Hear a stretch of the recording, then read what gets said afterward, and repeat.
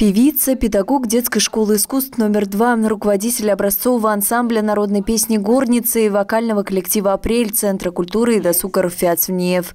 Ирина Оськина – пример человека, вдохновленного своим делом. Творческая деятельность началась почти 40 лет назад, а горящий взгляд и стремление к вершинам ничуть не угасли.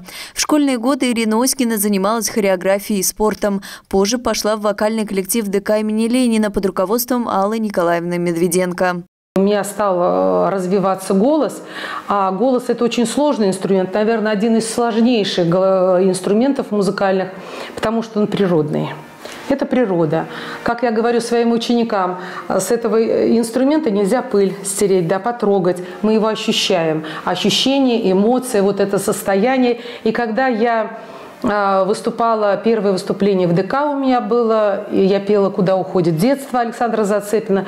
Вот тогда-то я прочувствовала, вот, влетела в меня в такое состояние творческое, думаю, а я без этого жить не могу. И, конечно, с этой минуты я стала заниматься серьезно э, вокальным искусством. Когда-то педагог умело направила юную Ирину и подготовила к поступлению в музыкальное училище, открыла мир пения. Теперь женщина сама наставник и мотиватор для вокалистов нашего города. Образцовый ансамбль народной песни «Горница», кузница талантливых артистов, среди которых Екатерина Козеева, Дарина Кальвит.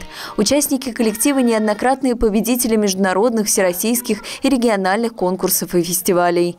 90% педагогической деятельности, конечно, я отдаю все свои знания, все свои, свои силы, настроение, здоровье моим ученикам, моей профессии. Главная задача, которую я ставлю, чем больше я научу искусству музыки, и отношение к нему серьезное, тем, наверное, моя роль на этой земле э, исполнится. Помимо преподавательской деятельности, Ирина Зидулаевна уделяет особое внимание собственному развитию как певицы. Она участник таких вокальных проектов, как «10 песен атомных городов» шоу Первого канала «Голос 60+.» В планах выступления на 10-м юбилейном фестивале «Декада зрелого возраста» в Сочи и сольный концерт.